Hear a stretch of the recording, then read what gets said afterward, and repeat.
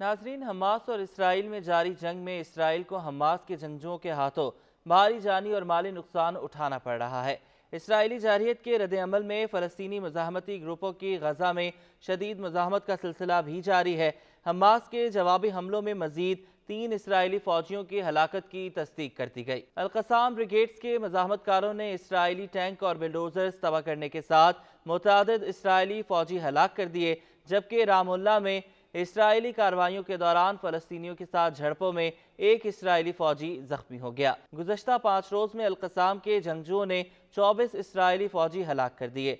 गजा में इसराइल के ज़मीनी ऑपरेशन के आगाज़ से अब तक हलाक इसराइली फौजियों की तादाद एक सौ पैंसठ से तजावज़ कर गई है, जबकि सैकड़ों इसराइली फौजी शदीद जख्मी हैं। जख्मी इसराइली फौजी इन्फेक्शन का शिकार होकर मर भी रहे हैं। इसराइली मीडिया के मुताबिक गजा से वापस लौटने वाला इसराइली फौजी इन्फेक्शन से हलाक हो गया, जिसके बाद तिबी माहरीन ने खदशा ज़ाहिर कर दिया है कि इसराइली फौजी गजा से खतरनाक फंगल इन्फेक्शन इसराइल ला रहे हैं। इसराइली मीडिया ने तिबी माहरीन के हवाले से खदशा ज़ाहिर किया कि इसराइली फौजियों के ज़रिए इसराइल में दाखिल होने वाला ये फंगल इन्फेक्शन दीगर इसराइली शहरियों में भी फैल सकता है।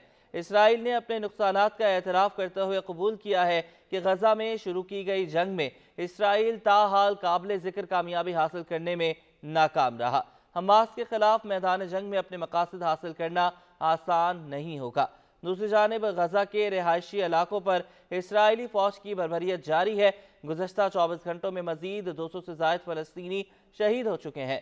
अरब मीडिया के मुताबिक वस्ती गजा में अल अस्पताल के करीब इसराइली बम्बारी से 20 फ़लस्तनी शहीद हुए, जबकि नसीरात के पनागुजीन कैंप पर सेहूनी हमले में भी कई अफराद की शहादतों की इतलात हैं। जनूबी गजा में रफा में इसराइली हमले के बाद इलाके में आग भड़क उठी, जबकि नसीरात कैंप में सात और अलमगाजी कैंप पर हमले में मजीद बीस फ़लस्तियों को शहीद कर दिया गया। मकबूजा मगरबी किनारे में इसराइली ड्रोन हमले में छः फ़लस्तनी शहीद हो गए। गजा में सात अक्टूबर से अब तक शहीद होने वाले फ़लस्तियों की तादाद इक्कीस हज़ार एक सौ दस से तजावज़ कर चुकी है, जबकि पचपन हज़ार दो सौ तैंतालीस से जायद अफराद ज़ख्मी हैं। जख्मियों और शहदा में निसफ से जायद तादाद बच्चों और ख़वान पर मुश्तमिल है। इसराइल की वहशियाना कार्रवाइयों से पनाह गुजीन कैंप, अस्पताल, स्कूल और मजहबी इबादत गाहें भी महफूज नहीं रह पाई। सेहूनी अफवाज ने दीर अलबला की मस्जिद भी शहीद कर दी। इसराइली फौज ने भयानक जंगी जराम की इंतहा करते हुए लाशों से आज़ा भी चुरा लिए। अस्सी से जायद मस्क शुदा लाशों की रिफा में इज्तमाही तदफीन कर दी गई। फ़लस्तनी अथॉरिटी के मुताबिक सात अक्टूबर से शुरू होने वाली कार्रवाइयों के तहत मकबूजा फ़लस्तनी इलाकों में रोज़ाना कम से कम बयालीस छापामार कार्रवाइयाँ की जा रही हैं। आलमी इदारे सेहत के मुताबिक हज़ारों फ़लस्तनी इसराइली हमलों से बचने के लिए वस्ती गजा और खान यूनिस से नकल मकानी करने पर मजबूर हो गए हैं, जबकि इसराइल ने अकवा मुतहदा के एहलकारों के लिए खुद वीज़ों का अजरा भी रोक दिया है। दूसरी जानब, गजा में इसराइली फौजी कार्रवाइयों में इजाफे के साथ अकवा मुतहदा ने खबरदार किया है कि गजा पट्टी में इसराइली बम्बारी और झड़पों की वजह से इमदाद की फराहमी का काम मुश्किल हो गया है।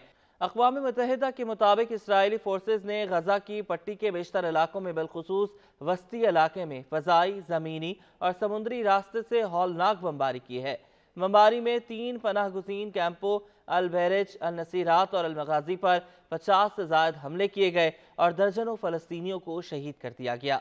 इसराइल की इन कार्रवाइयों ने इमदादी टीमों के काम में रुकावट डाली और इन कैंपों को मिलाने वाली सड़क भी तबाह हो गई। रिलीफ एंड वर्क्स एजेंसी बरए फ़लस्तनी पनागुजीन डायरेक्टर थॉमस वाइट ने कहा है कि जनूबी गजा की पट्टी में रिफाब इसराइली बम्बारी के नतीजे में मुकम्मल तबाह होने लगा है। अरब मीडिया का कहना है कि फ्रांस ने इसराइल से मुतालबा किया है कि वो गजा तक इंसानी इमदाद की मुकम्मल और बिला रोक टोक तरसील में सहूलत फराहम करे।